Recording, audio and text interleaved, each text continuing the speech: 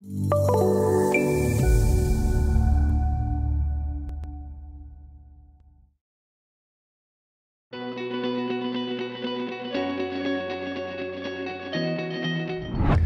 welcome back again. We're in the final 10th video of our series. This is the last one. And when you're at the end, last thing you need to do on a project is print. And that's what we're going to be talking about. Again, I'm Sam Hendrick, Bentley Systems, and we're here to talk about MicroStation Connect Edition. In this last and final video, we're going to talk about printing. We're going to talk about printing from a design model using a fence. We're going to talk about printing from a sheet model. We'll also talk about how to print at any scale from any drawing. That's really a handy thing to do during the work progress. And in the end, what we're going to talk about is how to print from a 3D model a 3D PDF. And your plus one, you'll see where it's at in about in the three quarter point. You're going to see where we can actually create a PDF that has levels in it. So you could turn those levels on and off in the PDF. So hope you've enjoyed this series. And if there's anything you'd like to see in these videos, go ahead and put some comments down below and let us know what you'd like to see or what you want me to talk about. Enjoy. In this video, we're going to be talking about printing. The first thing we're going to talk about is printing from a fence in MicroStation. So we're going to open up this file right here. Now, it's very common in the MicroStation community to enlarge your border around your project. Some other CAD software, what they do is they shrink the project to fit inside a paper. We can do that, but that's not normally the way we go about doing it. As you can see here, our border is 1700 feet by 1100 feet. We plan to print this on a D-size piece of paper, which means this is going to be a 50 foot scale drawing. So we're first going to demonstrate how we can print from a fence.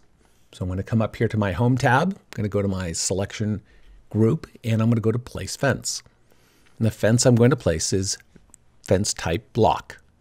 And I'm going to go ahead and pick a corner, one corner, and I'm going to go to the opposite corner. Now I have a fence. Now I'm going to go to my print dialog.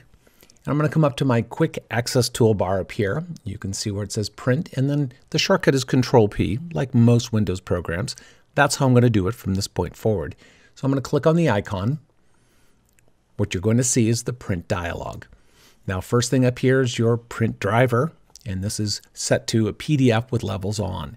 Now we ship with MicroStation PDF plot drivers. You don't need Adobe Acrobat or anything else. MicroStation has built in the ability to create a PDF. Now I've edited this one to include the ability to turn on levels in the PDF. So that's why it says PDF-levels on. Below that is my paper size. So I'm going to go ahead and choose ANSI D. Below that is the area. Now, I placed a fence. I'm going to click here, and you're going to see there's two other options. There's View and there's Sheet. Now, View would appear if I did not place a fence. Normally, we print by fence or by sheet. So I'm going to choose Fence. Below this, I can use True Color, or I can set it to, if I wanted to, Grayscale. And then I want to maximize here, have it fill my preview window here. And when I do that, you can see the scale comes out to 50 or 1 inch equals 50 feet. And my paper size is 34 by 22, which is a standard ANSI D. So at this point, I've told it the plot driver, the paper size, I adjusted my color, and now we have scale of 50. I'm going to go ahead and hit print to file. Comes up and asks me where would I like to create my PDF. I'm going to go ahead and place it in the default location for me is the out folder. All right, it says it's done. I'm going to go ahead and switch to that folder, and there's my PDF. We're going to go ahead and open this up. I'm going to double click. And in this case, Adobe Acrobat Pro is my default. You can use any program that supports opening up a PDF. In this case, I have Adobe Acrobat Pro. I could use the free reader to do exactly what I'm about to do. As I mentioned, I output the ability to turn on and off levels. If that was not on, the PDF would not give me this option. On the left-hand side here, I have layers. If you don't see this available, you can then right-click and turn it on. I'm going to click on Layers. Then I see the Adobe eyeball and a greater than symbol. I expand that. I expand that. And then I see all the different levels. So now I can just turn them on and off as I want to. So for example, if I wanted to turn off existing roadway, you can see I've turned that off. And then I could print with that turned off. So that's creating a PDF and the ability to turn on and off levels inside the PDF. So we're going to go ahead and close the Adobe Acrobat. Come back to MicroStation. The next thing we're going to do is we're going to print from a sheet model. So we're going to go to File Open. The second file in my folder is O2, printing from sheet model. I'm going to open that up. And you'll notice my print dialog remains open between closing one file and opening another. In this case, I'm printing from a sheet model. Now I'm going to go to my models dialog located on my primary group under the home tab. And you're going to see that I have two models. One is called default, one's called layout. For AutoCAD users, the default would be equivalent to model space and layout would be equivalent to paper space. So we support the same functionality. The icons indicate this also right here. I'm in the layout or sheet model. I'm going to close this. Now when I go to print, I, it remembers the ANSI D, and you'll notice down here for area, it defaulted to sheet.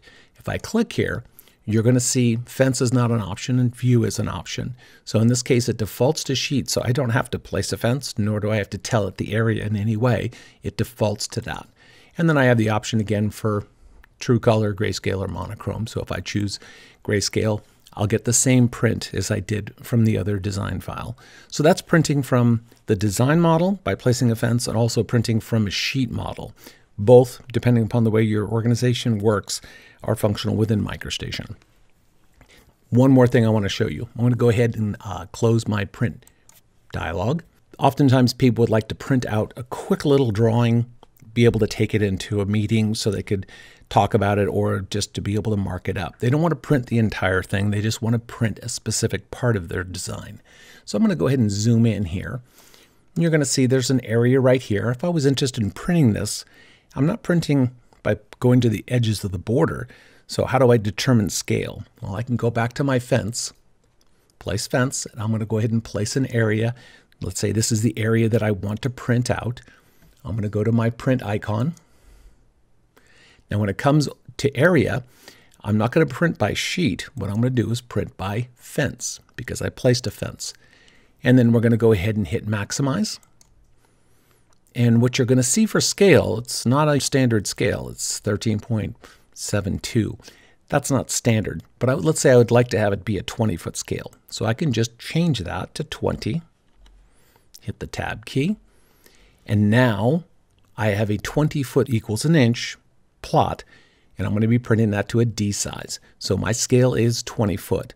So that way I can print out in any area I want to and give it a specific scale. So it's not something that's not to scale. So you can see on your drawing, it looks proportional. Just a little tip there on how to do a print of any area and print out to scale. So I want to go ahead and close this. And we're going to go to our next file. This is going to be exporting a 3D design to a PDF. This is O3 exporting design to 3D PDF. Now upon opening this, you're going to see this is a 3D model in MicroStation. So you can see I can rotate this around. I'm going to print this to a PDF and I'm going to make that a 3D PDF.